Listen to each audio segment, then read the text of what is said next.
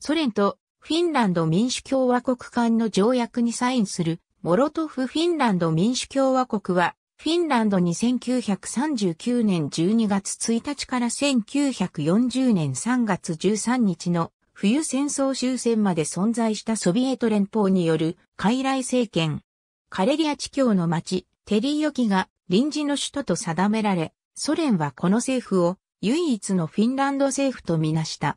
主犯はソ連に亡命していた共産党員、オットー・クーシネムであった。当初では、ストックホルム在住の中央委員、アルボテオミネンが候補であったが、彼が力不足を理由に拒否したためクーシネンが就任することになったとされる。1939年11月30日、モスクワはフィンランド共産党の放送を受信したとして、同党の宣言を報道した。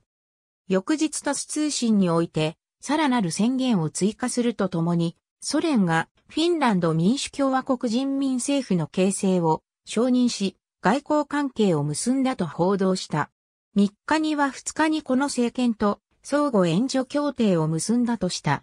そして、これを唯一の政府とすることで、国際法上の戦争には当たらないと主張した。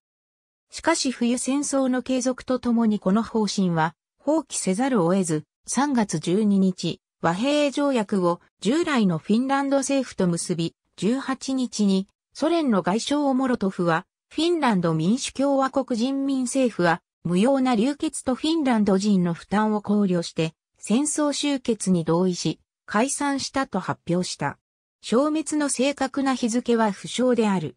現実には、カレロフィンソビエト社会主義共和国に吸収合併され、自然消滅したものと思われる。なお、カレロフィンソビエト社会主義共和国の主犯は、オット・クーシネンが引き続き務めることとなった。ありがとうございます。